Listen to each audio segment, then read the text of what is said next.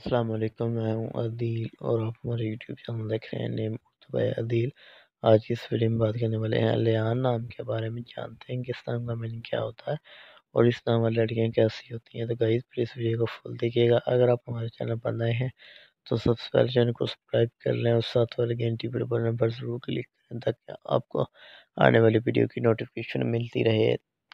تو گائز اس نام کا میننگ بنتا ہے لیان نام کا۔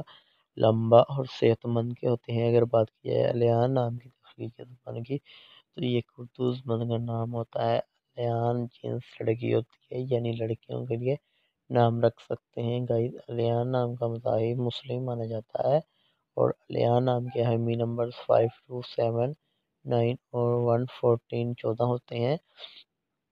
اگر بات کی جائے الیان نام کے مفرین کی، تو بود اور جمعہ بھی شامل ہوتا ہے۔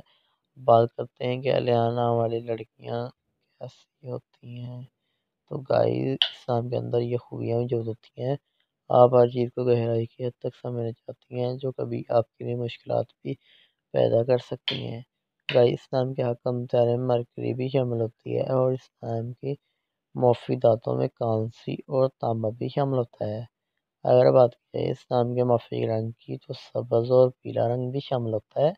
ہم آپ کو بتاتے ہیں اسلام کے مفی پتھر کی تو فیروزی پتھر متبادل میں یمنی پتھر، حیاتین پی موتی اور سفید نیلم شامل ہوتا ہے۔